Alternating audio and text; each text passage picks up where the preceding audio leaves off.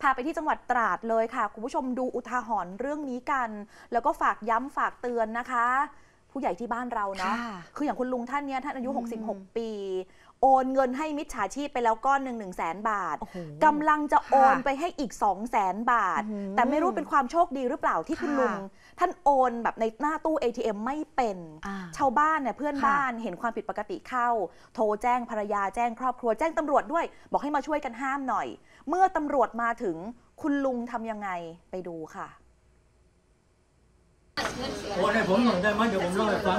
เนี่ยไม่ได้เล่าให้ฟังโอนโอนเข้าบัญชีผมก่อนเนี่ยถ้าเดี๋ยวผมใช่เดี๋ยวผมว่าจะไม่ไม่เพทำราะว่าตายโอนไปตามแล้วไม่ตามตายแน่นอนแล้วไปขายสร้อยมากี่เป็นเรื่องอะไรกับอะไรนี่ทำไมเห็นโอ้เดี๋ยวเล่าให้ฟังโอนหน่อยได้ไหมขอให้โอนหน่อยได้ไหมโอ้โห ถึงกับขนาดขอร้องให้ทางตำรวจเนี่ยช่วยช่วยหน่อยตำรวจโอจะนมาเงินให้หน่อยตำรวจจะมาห้ามไม่ให้โอน แต่ลุงดันค่ะแบบ จะขอความโนให้ช่วยเหลือได้เลยอะบอกแล้วยังไงต้องโอน ถึงกับมาร้องขอความช่วยเหลือจากตำรวจแต่ไม่ได้ช่วยให้ช่วยตามหามิจฉาชีพนะค่ะช่วยโอนให้ผมหน่อยเนี่ยคุณผู้ชมเพราะว่าเพื่อนบ้าน พยายามห้ามแล้วลุงไม่ฟัง พลเมืองดีอยู่แถวนั้นก็พยายามจะมาห้าม ลุงก็ไม่ฟังขนาดตำรวจมาแล้ว คุณลุงก็ยังจะพยายามโอนให้ได้ คุณไพฑูรย์อายุ 66 ค่ะคุณผู้ชม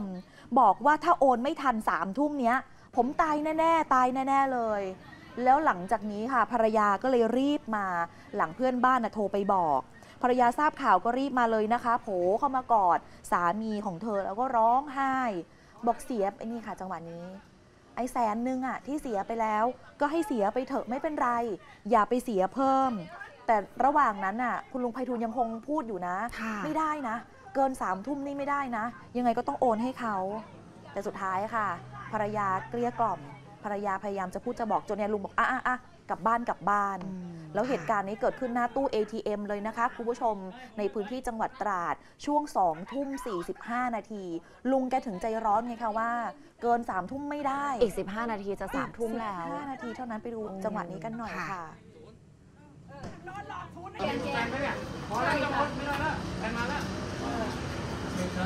ไม่ฟังอะไรมันเสีย ไปแล้วเสียเสียไปแล้วจะยังไม่เสียเพิ่มให้ฉันเป็นว่าเธอฉันจะเป็นคนไม่กระขายเสียไปแล้วเสียไปเสียทั้งหมดไม่เป็นไรแล้วไม่ได้แล้วสองแสนเนี่ยขายสร้อยมา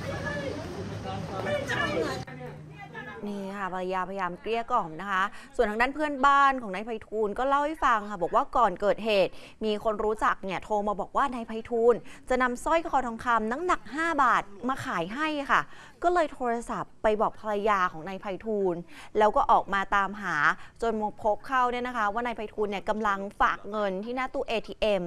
แล้วก็เพิ่งจะมารู้ว่านายไพฑูรย์เนี่ยเพิ่งจะถูกมิจฉาชีพหลอกลงทุนให้โอนเงินไปแล้ว 1 0 0 0 0แสนบาท แล้วก็กำลังจะหาเงินฝากไปเพิ่มอีกอะสองแสนบาทค่ะ ก็เลยรีบเข้ามาห้ามนะคะ แต่ว่านายไพฑูรย์เองก็ไม่ยอมฟังค่ะ ตัวเองก็ไม่รู้จะทำยังไงนะคะ ก็กลัวว่าเขาจะถูกหลอกอีก ก็รีบแจ้งเจ้าหน้าที่ตำรวจเลยค่ะ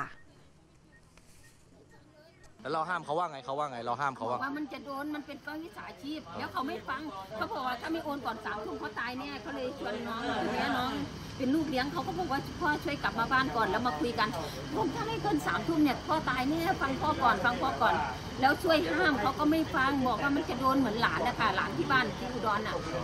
โดนไปเจ็ดแสนเต็มๆค่ะเขาจะเอาเงินไปตรวจสอบ เนี่ยทั้งทั้งๆที่ขายพระมันมีสาชีพอันเดียวเลยเขาไม่ฟังเลย นี่ค่ะโอ้โหต้องดีนะยกเนี่ยความดีความชอบให้เพื่อนบ้านใช่ไหมเพื่อนบ้านช่วยกันคืสังอเกตสังเกตจับพิรุษได้ค่ะเอ๊ะทำไม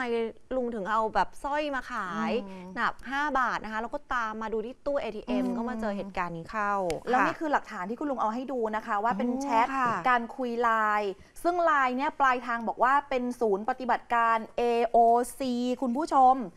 คุณลุงเอาให้ผู้สื่อข่าวดู คือ AOC เนี่ยเป็นศูนย์ปฏิบัติการที่ตั้งโดยกระทรวงดีนะคะค่ะตั้งขึ้นมาเพื่อรับแจ้งเหตุโดยเฉพาะ กรณีการโดนมิจฉาชีพ การโดนโกงออนไลน์แบบนี้ ซึ่งทางตำรวจออกมาบอกแล้วว่า มิจฉาชีพก็เลยเอาอันเนี้ยไปเป็นกลโกง ไปหลอกประชาชนที่ผ่านมามีการแจ้งเตือนอยู่บ่อยครั้ง แล้วก็ย้ำด้วยว่า AOC มีแค่สายด่วน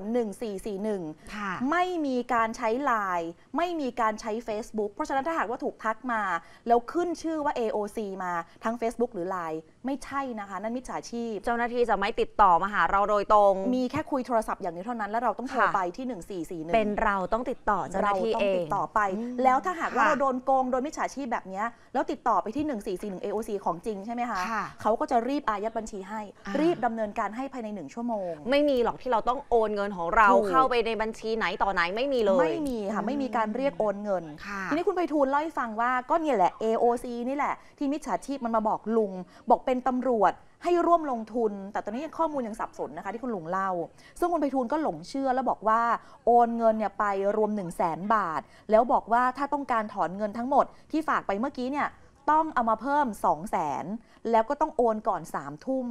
นี่แหละค่ะและเป็นเหตุผลที่คุณลุงไพฑูรย์พยายามจะโอนก้อนเนี้ยอยู่เนี่ยสองแสนจะโอนไปให้เขาโอ้โหเท่ากับว่าตอนนี้หลังจากค่ะฟังคำอธิบายจากทั้งภรรยาค่ะจากทั้งตำรวจแล้วเนี่ยนะคะ เดี๋ยวคุณไพฑูรย์จะรวบรวมหลักฐานไปแจ้งความกับสพเมืองตราดอีกทีหนึ่งค่ะ โอ้ถ้าเพื่อนบ้านไม่มาเห็นเนี่ยสามแสนเลยนะคะ ก็นั่นนะสิคะอืม